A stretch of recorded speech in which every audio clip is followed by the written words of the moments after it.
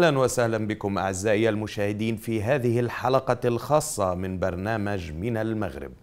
ضيفنا اليوم هو مناضل وسياسي مغربي عتيد ورجل دولة بامتياز كما أنه أحد الأسماء المعروفة بمناصرتها ومساندتها للقضية الفلسطينية على امتداد سني نشاطه وعمله السياسي. ضيفنا اليوم هو السيد الحبيب المالكي رئيس مجلس النواب المغربي. فأهلا وسهلا بك سيد الحبيب ضيفا عزيزا على شاشة تلفزيون فلسطين شكرا شكرا جزيلا الأخ الكريم على استضافتي. أهلا وسهلا بك. سيد الحبيب يعني وقبل الخوض بالتفاصيل نود أن نسألك عن مركزية ومحورية القضية الفلسطينية في روح أعمال مجلس النواب المغربي. يعني مجلس النواب المغربي هو مجلس تعددي من كتل برلمانية ذات مرجعيات سياسية وأيديولوجية مختلفة. تختلف وتتنافس على كل شيء يتعلق في المملكة المغربية البرامج التنموية المواقف سياسيا البرامج الاجتماعية بحكم ما يمتاز به البرلمان من حياة ديمقراطية. إلا في القضية الفلسطينية. هناك اتفاق دائم على كل ما يتعلق بالمواقف السياسية والنضالية المرتبطة بالقضية الفلسطينية. يعني كيف أو ما هي العوامل التي كرست القضية الفلسطينية كقضية إجماع دائم في البرلمان المغربي؟ هو في الواقع كما ذكرت القضية الفلسطينية دائما كانت قضية إجماع. كيفما كانت المنطلقات السياسية وكيفما كانت المرجعيات الإيديولوجية وذلك لأسباب مختلفة. أولا لا يمكن فصل موقف مجلس النواب وعموما البرلمان المغربي عن مواقف المغرب التي تكتسي ودائما كانت تكتسي طابعا قوميا. يتميز بأبعاد متعددة. ما هو سياسي؟ ما هو تضامني؟ وما هو ميداني بكيفية ملموسة؟ وهنا لابد من التذكير بدور المؤسسة الملكية حيث أن الموقف الذي نعتبره الموقف المؤسس من طرف بطل التحرير جلالة الملك المغفور له. محمد, الخامس سنة 1948 والذي اتخذ موقفا صارما إزاء كل ما له علاقة بالأراضي الفلسطينية. خاصة أن في تلك الفترة كانت هناك تحولات جيوسياسية متعددة أدت إلى ما نعيشه اليوم.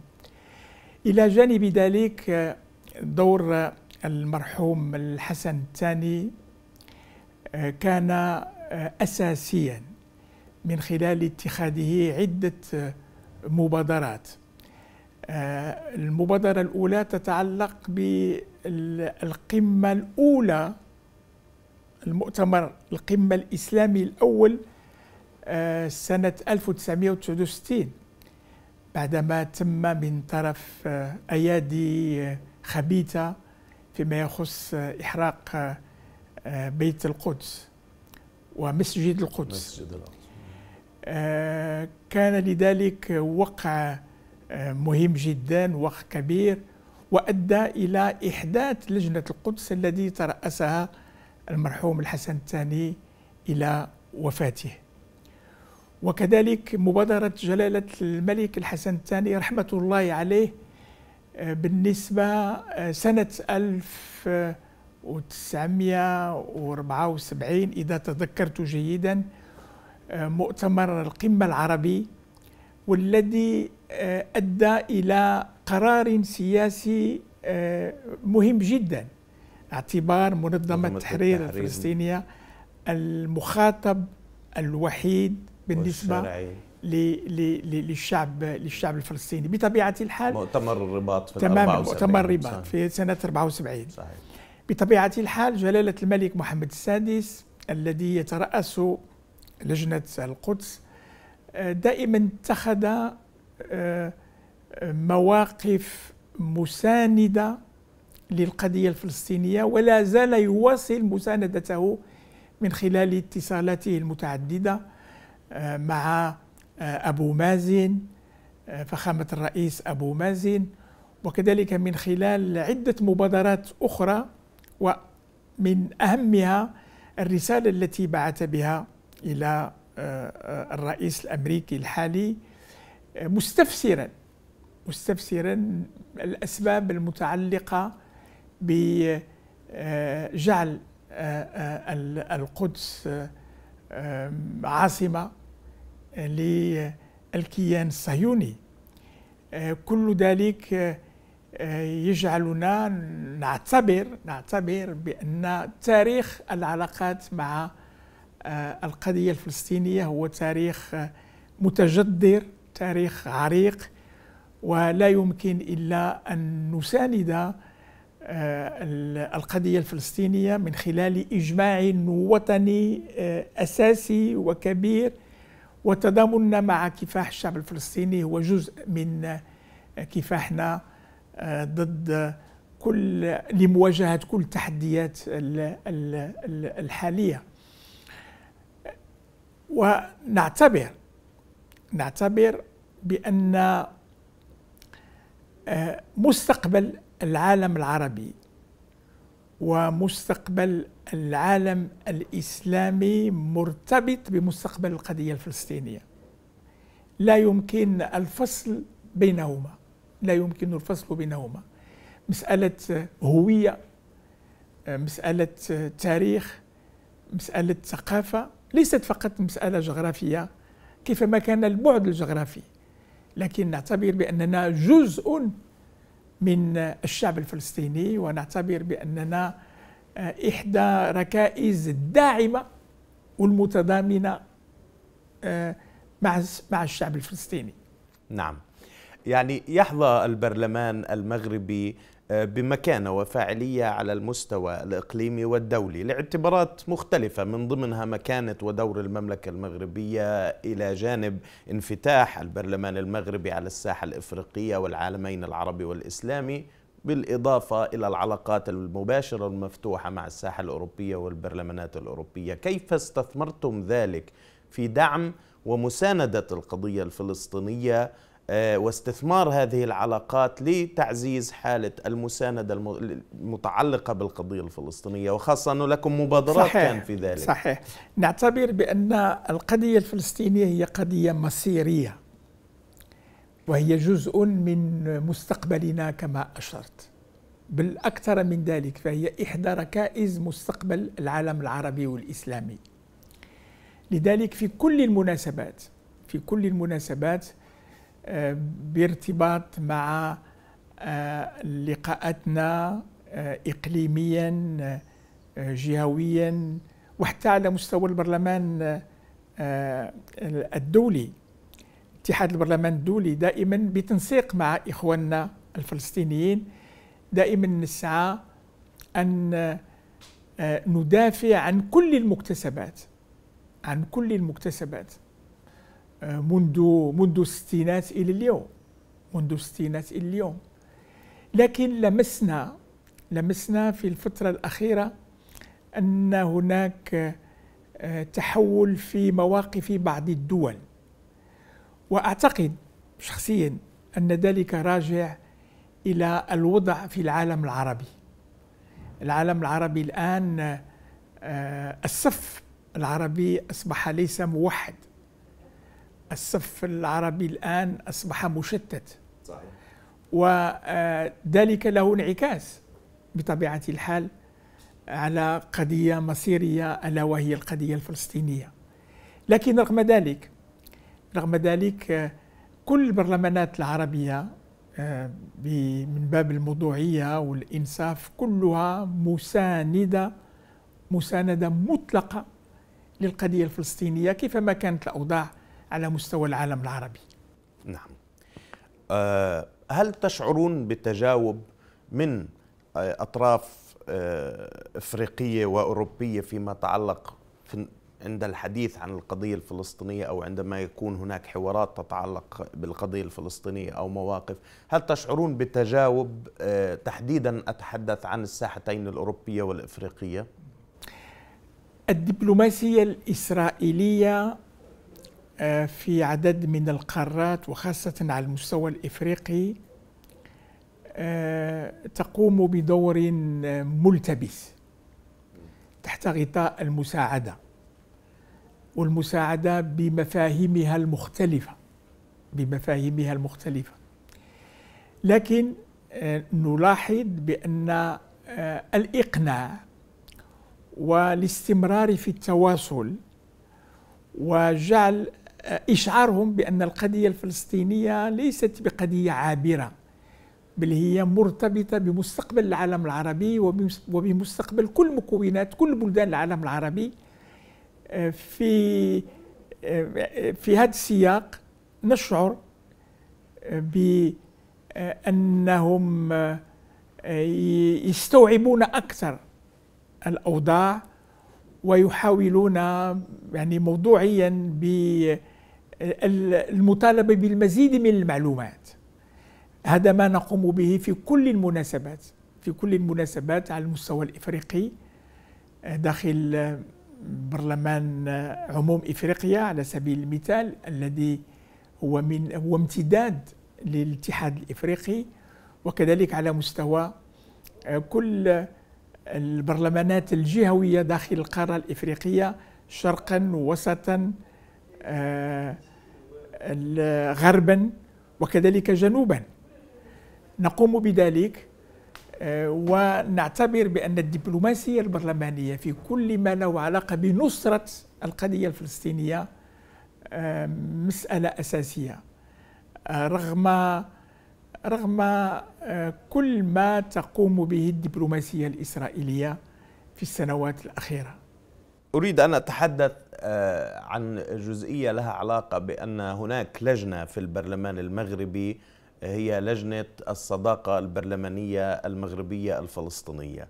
وهذه اللجنة تعنى تحديدا في العلاقات الثنائية الفلسطينية المغربية بين البرلمان المغربي والمجلس التشريعي الفلسطيني ومتابعة كل المواقف المتعلقة بالقضية الفلسطينية سؤالي تحديدا يعني كيف أثر آه، تعطل المجلس التشريعي الفلسطيني لسنوات على النشاط المشترك ما بين البرلمان المغربي والجانب آه، الفلسطيني عن النشاط البرلماني المتعلق بالطرفين. أعتقد بأن مجموعة الصداقة التي تربطنا بعدد من الدول نشاطها متفاوت. لكن كما أشرتم مع الأسف الشديد ما يعيشه الآن المجلس الوطني الفلسطيني لم يساعد على اتخاذ مجموعة من المبادرات التي قمنا بها. المجلس التشريعي. المجلس التشريعي. نعم. عفوا المجلس التشريعي الفلسطيني قمنا بعدة مبادرات لكن الأوضاع المتأزمة حالت دون القيام بذلك. فبالإضافة إلى ال إلى ال إلى المجموعة الصداقة المغربية الفلسطينية قمنا بإحداث سنة 2018 بإحداث ما نسميه بلجنة موضوعاتية خاصة بالقضية الفلسطينية. فمن خلال هذه المبادرة نحاول أن أن نواكب الواقع الفلسطيني. وكل المستجدات التي تميز الواقع الفلسطيني. وهذه هذه المجموعة الموضوعاتية آه، تم إحداثها إلى جانب مجموعة موضوعاتية خاصة بالقضية الوطنية قضية الوحدة الترابية للمملكة المغربية. لذلك نعتبر بأن قضيتنا الثانية بعد القضية الوطنية المتعلقة بالوحدة الترابية هي القضية الفلسطينية هي القضية الفلسطينية.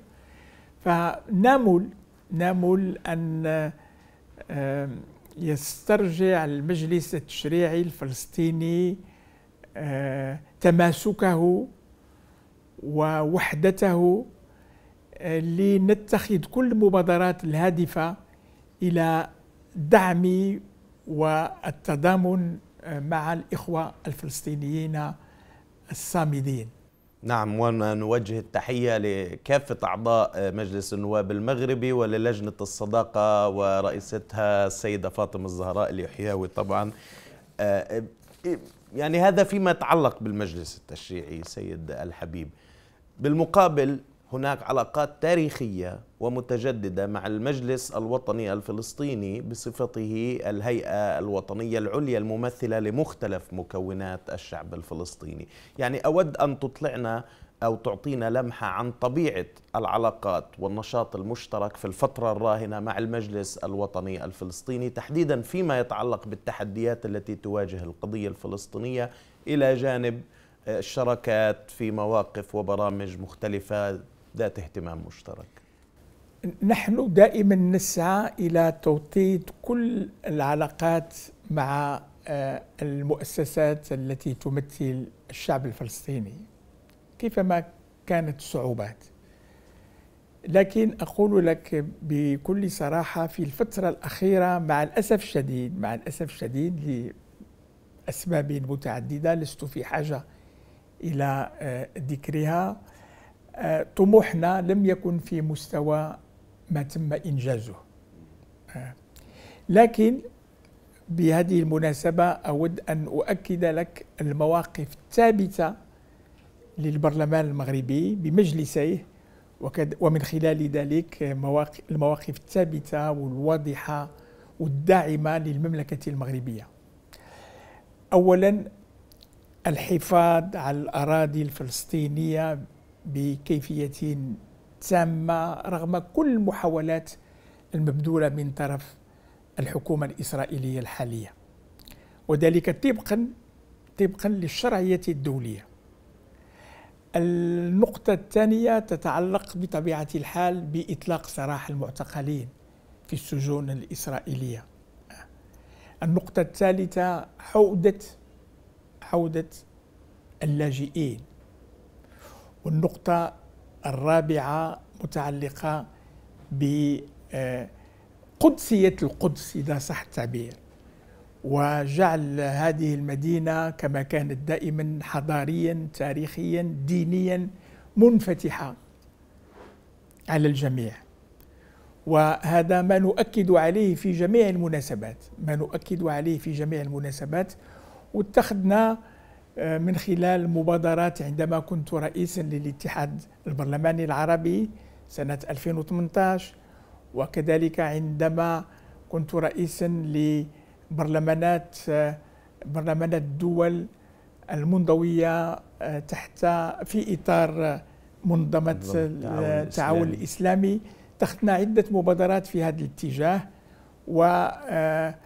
وقمنا ب كل ما يجب القيام به آه، الدبلوماسية البرلمانية أؤكد لكم بأنها مهمة جدا ناجعة لأنها صوت الشعوب بكيفية عامة وبطبيعة الحال آه، نسعى آه، كيفما كانت محدودية الوسائل كيفما كانت محدودية الوسائل أن نقنع ممثلي الشعوب في جميع المجالات وهذه المبادرات الأخيرة أعطت مجموعة من الثمار بأن هناك وعي عربي آه، إسلامي آه، تمكن آه، من جعل القضية الفلسطينية رغم كل السيناريوهات التي كانت تهدف إلى ما تهدف إليه.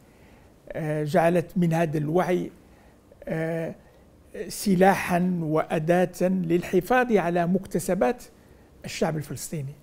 هل تترجمون ذلك يعني باتصال أو لقاءات دائما. مع المجلس الوطني مع ممثلي المجلس الوطني؟ نحاول نحاول لكن كما أشرت الأوضاع داخل المؤسسات التمثيلية للشعب الفلسطيني أحيانا لا تساعد. أقول لك بكل صراحة أحيانا لا تساعد. لذلك آه، آه، أنا شخصيا أتأسف لأن كان لنا طموح كبير في جعل آه، العلاقات علاقات نموذجية من خلال تبادل الزيارات من خلال تنظيم مجموعة من التظاهرات. هنا وهناك. آه، لأننا نؤمن نؤمن إيمان قوي وكبير بالقضية الفلسطينية لانها نعتبرها اولا قضية إجماع وكذلك قضية مصيرية بالنسبة لمستقبل العالم العربي. فهي جزء منا. أقول لك إنها جزء منا. وهذا يعني نلمسه بالمواقف آه التي تماماً. تعبرون عنها دائما. في محكات صعبة ومختلفة. وهذا يفتح إلى إلى السؤال آه، على السؤال الآخر الذي المتعلق بمواقفكم في الفترة الأخيرة تحديدا في الأعوام الثلاث نعم. الأخيرة. كان لكم مواقف واضحة. تماما. بتصريحات واضحة منكم وباسم مجلس النواب فيما يتعلق في قرار آه، أو إعلان ترامب إذا آه، اعتبار القدس عاصمة لدولة الاحتلال. عبرتم عن رفضكم الواضح تجاه هذا الأمر وكنتم جزء من حراك مغربي واسع وشامل في مواجهة هذا الإعلان. كذلك عبرتم عن رفضكم لنقل السفارة الأمريكية إلى القدس. آه، ووصولا إلى إعلانكم باعلانكم الدعم المطلق واللا مشروط تمام. للشعب الفلسطيني والقيادة الفلسطينية في مواجهة كل المخططات التصفوية بما فيها ما يندرج تحت ما يدعى بصفقة القرن آه، ومواجهة ذلك ودعمكم المطلق. الآن آه، سيد الحبيب يعني وبصفتكم رئيسا لمجلس النواب المغربي الآن وفي ظل نوايا الاحتلال الإسرائيلي دولة الاحتلال بضم الضفة الغربية ما يعني تقويض حل الدولتين بالكامل تصفية الحقوق الوطنية الفلسطينية بالكامل. أمام هذا المخطط وهذه النوايا ما هو موقفكم وما هي الإجراءات التي نتوقع أن تتخذوها في البرلمان المغربي وفي المملكة المغربية؟ نعتقد بأن سياسة الحكومة الإسرائيلية الحالية خارج الشرعية الدولية ولا تحترم بتاتا بتاتا كل القرارات التي تم اتخاذها من طرف مجلس الأمن. لكن الحكومة الإسرائيلية الحالية مساندة مساندة من طرف بعض القوى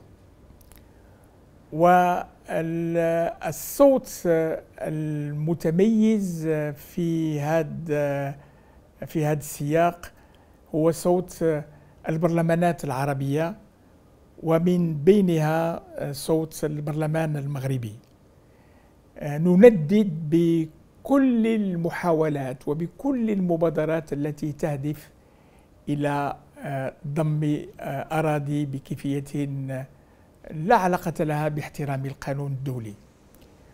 ونعتبر بأن آه، مطلب الأرض من طرف الإخوة الفلسطينيين وصمود الإخوة الفلسطينيين مطلب البقاء فوق الأرض وعلى الأرض هو المفتاح للحل لحل القضية الفلسطينية. آه، لا يجب أن نتوارى وراء يعني تبريرات متعددة. البقاء على الأرض وفوق الأرض هو الحسم النهائي بالنسبة لمستقبل القضية الفلسطينية. لذلك نحن نندد بكل المبادرات الهادفة إلى تقليص آه، آه، الملك الشعب الفلسطيني وكما أشرتم آه، هذا يهدف في نهاية المطاف إلى تقويض الحل الذي يرتكز على الدولتين. وهذا هو المخطط الصهيوني الجديد الذي آه، آه، تسعى إلى تحقيقه الحكومة الإسرائيلية الحالية. يعني الحكومة الإسرائيلية مدعومة من الولايات المتحدة الأمريكية. سياسة إدارة ترامب آه، تعطي الضوء الأخضر بالكامل لكل المخطط الصهيوني يعني هل سيستمر هذا الوضع؟ هل هناك آفاق لحدوث اختلاف في الموازين التي تحاول أمريكا الولايات المتحدة فرضها على العالم؟ أنا أنا أؤمن بعبقرية الشعب الفلسطيني وأؤمن بتاريخ الشعب الفلسطيني وأؤمن بالعقل الفلسطيني لأن الصمود والمقاومة منذ عقود آه، لا بد أن ينصفها التاريخ. أنا متأكد من أن التاريخ سينصف الشعب الفلسطيني. لذلك بقدر ما أثق في عبقرية الشعب الفلسطيني من خلال المحن التي عاشها بقدر ما أنا متأكد من أن التاريخ سينصفه. بمعزل عن أي سياسات آه، عنصرية تجاه الشعب الفلسطيني وحقوقه المشروعة طبعا. حتى لو كانت تقف خلف دول طبعا طبعا طبعا طبعا. نعم. طبعا. آه، سيد الحبيب أريد أن نتحدث قليلا على المستوى آه، مواقف البرلمانات دوليا وعربيا وإسلاميا. فيما يتعلق بالساحة الأوروبية يعني حديثا شهدنا مواقف جديدة ونوعية. من ذلك موقف البرلمان البلجيكي وكذلك الهولندي. هذه البرلمانات التي طالبت دولها بفرض عقوبات على دولة الاحتلال في حال ذهبت نحو ضم الضفة الغربية. ألا تجدون بذلك فرصة نحو تشكيل جبهة رفض دولية للاحتلال والعمل على إنهائه بالاستناد إلى القوة البرلمانية؟ يعني ألم يحن الأوان لتفعيل حراك البرلمانات الصديقة تحديدا العربية والإسلامية نحو تعزيز هذا التوجه في الساحات المختلفة وطرح مطالب جدية. مثلا مطالبة آه، بالاعتراف بالدولة الفلسطينية كرد على السياسات الإسرائيلية المطالبة بمقاطعة آه، يعني آه، البضائع الإسرائيلية والمنتجات والعلاقات التجارية معها في حال استمرت. في نشاطها. ألا يوجد فرص لذلك؟ ألا تعد الآن هي فترة آه، ذهبية لإمكانية تفعيل الإرادة الدولية؟ نحن نفكر في آه، إحداث آه، جبهة برلمانية للتنديد بالممارسات المتبعة حاليا من طرف الحكومة الإسرائيلية وهي ممارسات خارج الشرعية الدولية خارج القانون الإنساني آه، خارج الأمم منظومة الأمم المتحدة بجميع مكوناتها. آه، ونامل في الاجتماع المقبل بمناسبة انعقاد مؤتمر الاتحاد البرلماني الدولي أن آه، نؤسس لهذه الجبهة. والذي سيتم في بداية السنة المقبلة إن شاء الله. ولكن تحضيرا لهذا الأفق آه، سنراسل آه، كل البرلمانات التي تجمعنا معها اتفاقية تعاون اتفاقية تفاهم آه، من أجل التحضير لهذه المبادرة. حتى نوفر كل الشروط الممكنة. ونعتبر مرة أخرى كما أشرت بأن الدبلوماسية البرلمانية قادرة قادرة قادرة على آه، الانفتاح وعلى الإقناع وعلى أن السلم في المنطقة مهدد وأن الأمن آه، أصبح كوني ما يجري في على الأراضي الفلسطينية إذا كان هناك استقرار باقي الدول الأوروبية على سبيل المثال ستعيش استقرارا. وإذا لم يكن هناك استقرار على الأراضي الفلسطينية لا أعتقد أن العالم سيعيش استقرارا كاملا.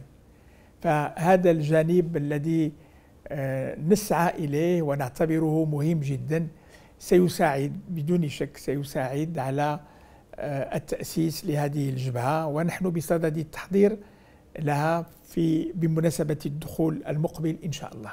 إن شاء الله.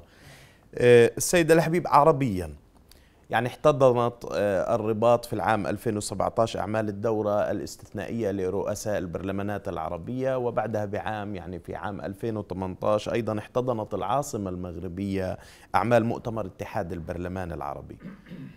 أكدتم في هذه المؤتمرات وكان لك تصريحات أنت شخصيا في هذه المؤتمرات آه، تتعلق بشكل واضح في مناصرة ودعم القضية الفلسطينية. أكدتم آه، كبرلمانات عربية على أن القضية الفلسطينية القضية الأولى في محور الاهتمام العربي. يعني هي القضية الأولى عربيا في جدول اهتمامات البرلمانات العربية. أيضا تدارستم سبل مواجهة قرار ضم القدس وتهويدها وحمايتها من التهويد والاستلام هل ترى سيد الحبيب بأن موقف البرلمانات العربية قد تجاوز مربع المواقف المعلنة نحو الخطوات الفعلية على الأرض؟ بمعنى الآن كخطوة فعلية ممكن اتخاذها. هناك حصار مالي مفروض على الشعب الفلسطيني على منظمة التحرير الفلسطينية والسلطة الوطنية الفلسطينية من أجل تطويعه وإجباره على الاستسلام فيما يتعلق بضم الضفة وبنود صفقة القرن. ألا يمكن الآن تفعيل قرار شبكة الأمان العربية؟ اللي أقرتها جامعة الدول العربية. ألا يمكن للبرلمانات العربية أن تحقق ضغط لتفعيل شبكة الأمان من أجل تعزيز صمود الشعب الفلسطيني. هذا مثال على ما يمكن فعله صحيح. الآن كخطوة فعلية. مع الأسف الشديد وسأكون صريحا معك البرلمانات العربية بصفة عامة تتخذ مواقف مبدئية يعني مساندة. لكن على مستوى التطبيق على مستوى الملموس ليست هناك مبادرات تترجم إلى أرض الواقع ما اتفقنا عليه سابقا. ما هي الأسباب؟ أقول لك لست أدري. رغم أنني أدري. رغم أنني أدري. فأوضاعنا ليست بخير. أوضاع العالم العربي ليست بخير. وحتى الجامعة العربية في حاجة إلى إصلاحات عميقة لتستجيب لمتطلبات المرحلة. وكذلك نلاحظ بأن البناء الديمقراطي في العالم العربي مع احترام خصوصيات كل بلد من البلدان التي ننتمي إليها ننتمي إليها كعالم عربي البناء الديمقراطي يعني في حاجة إلى نفس جديد في حاجة إلى دفعة جديدة. لا أعطي الدروس لأحد شخصيا لأنني أحترم خصوصية كل بلد من البلدان الشقيقة. لكن ربط القول بالفعل من أسباب ومن أسس المصداقية. بدون ذلك ليست هناك مصداقية. وجلالة الملك محمد السادس يسعى دائما دائما دائما إلى ربط القول بالفعل. ويتخذ مبادرات ميدانية مبادرات ملموسة لجعل الالتزامات ليست فقط التزامات هوائية التزامات مبدئية ولكن القدرة على ترجمتها لتصبح يعني مكسبا. هذا هو الذي ينقصنا في غالب الأحيان. نعم. كنتم قد وجهتم في شهر مارس من العام المنصرم آه، وأثناء اجتماع لجنة فلسطين الدائمة التي عقدت في إطار أشغال الدورة 41 للجنة التنفيذية لاتحاد مجالس الدول الأعضاء في منظمة التعاون الإسلامي. كنتم قد وجهتم نداء ملحا إلى القيادات الفلسطينية في أعمال هذه الدورة المنضوية تحت منظمة التعاون الإسلامي من أجل تحقيق الوحدة الوطنية الفلسطينية في مواجهة التحديات المحدقة بالقضية. الآن هناك بوادر آه، وخطوات فعلية اتخذت من أجل تحقيق المصالحة الفلسطينية. عبر عنه آه، لقاء أمين سر آه، اللجنة المركزية لحركة فتح جبريل الرجوب و آه، القيادي في حركة حماس العروري آه، وأعلنوا عن أن المصالحة في طريقها إلى التحقيق. كيف نظرتم إلى هذه الخطوة وما هي نصائحكم في هذا الصدد؟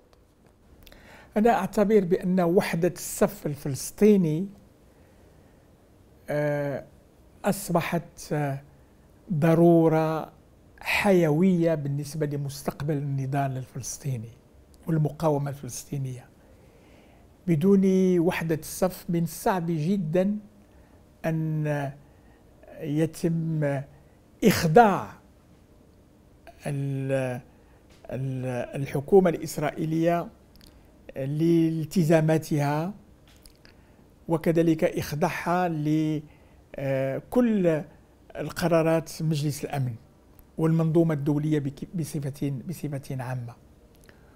وأعتبر شخصيا كذلك بأن وحدة الصف الفلسطيني ستساعد على وحدة الصف العربي. ستساعد على وحدة الصف العربي لأن هناك تداخل بينهما.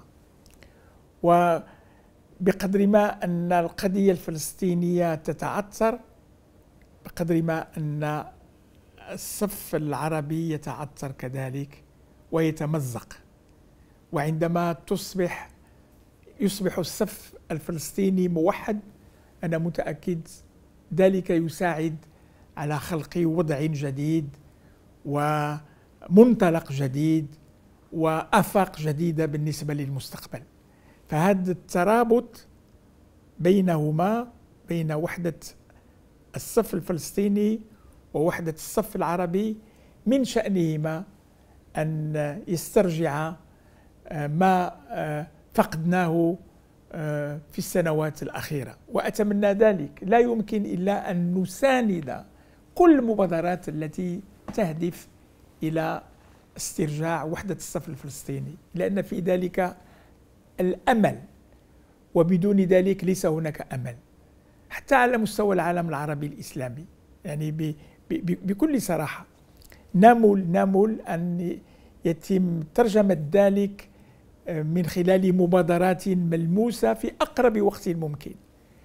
لأن هذا التداخل وهذا التجاذب آه، بين وحدة الصف الفلسطيني ووحدة الصف العربي من شأنهما أن يشكل انطلاقة جديدة وأكسجين جديد بالنسبة لمستقبل آه، القضية الفلسطينية التي نعتبرها قضيتنا جميعا قضية مصيرية قضية تهم مستقبل العالم العربي بدون نصرة القضية الفلسطينية من الصعب جدا أن نحلم باستقرار بأمن بازدهار على مستوى شعوب المنطقة. نعم.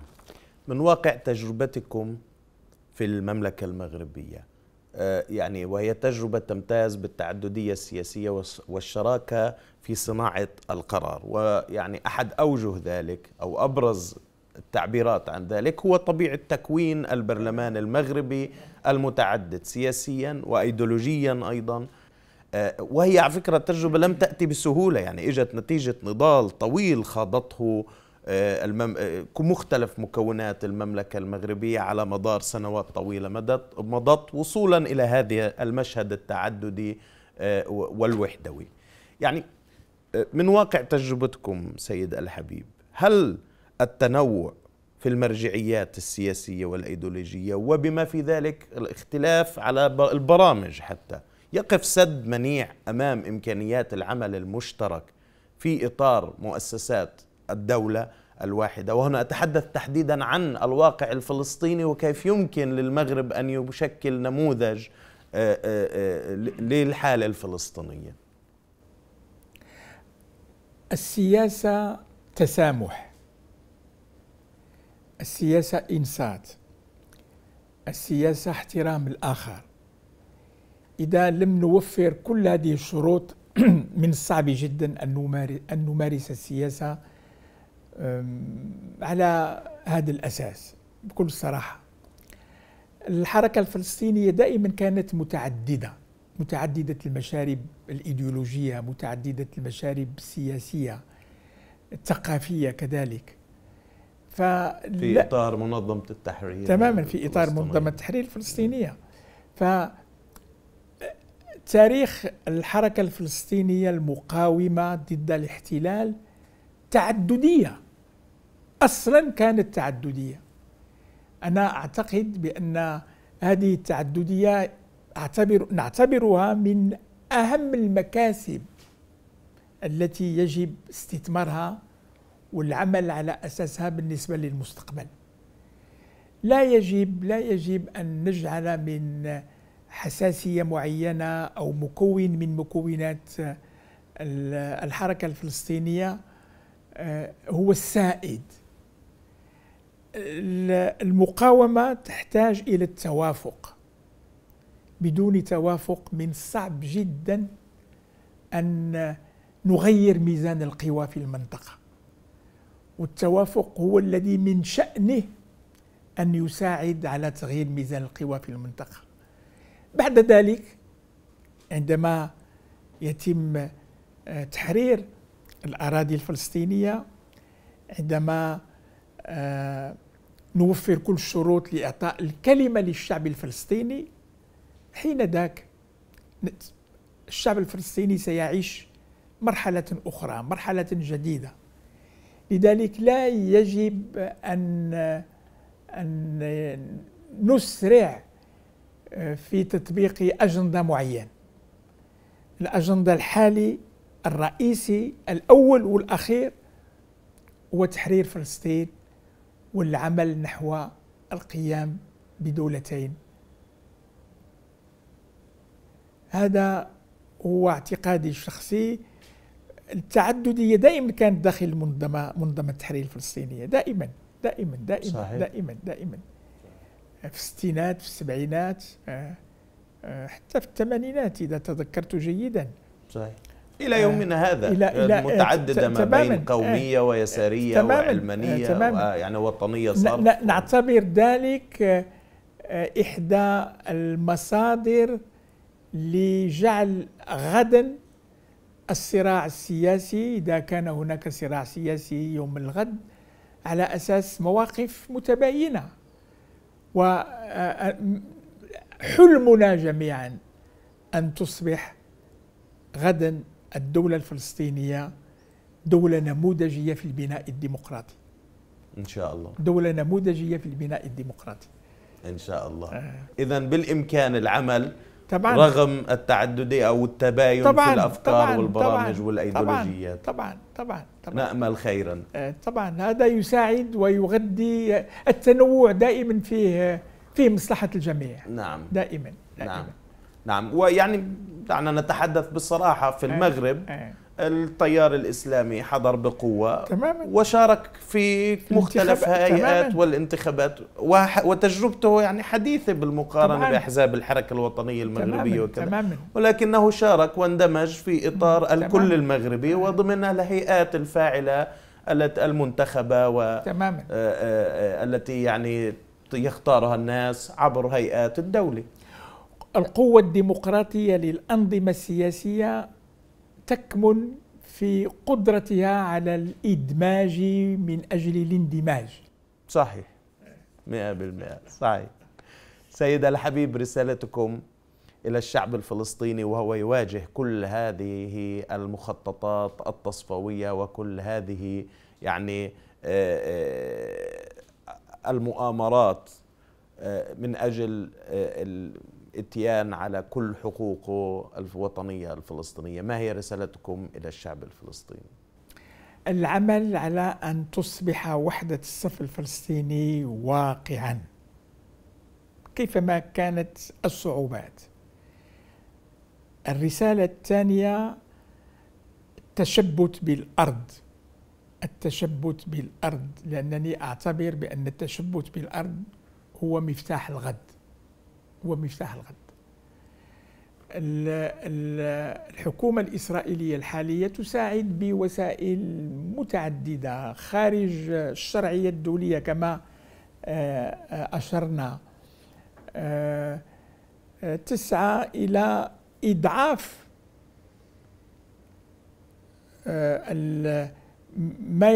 مقاومة الشعب الفلسطيني لأن ميزان القوى إقليميا إقليميا جهويا مع الأسف الشديد يساعد على ذلك.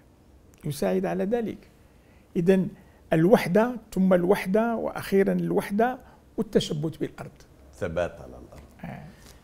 سيد الحبيب المالكي رئيس مجلس النواب المغربي شكرا لك على هذا اللقاء شكرا وهذا شكرا. الوقت الذي منحته لنا. مرحبا مرحبا. ونتمنى أن تكون المملكة المغربية وأن الله. تكونوا دائما بخير. شكرا. وأن يكتب لنا أن يعني إن شاء الله. نتعامل على إن شاء الله. كدولتين مستقلتين حرتين يوما ما.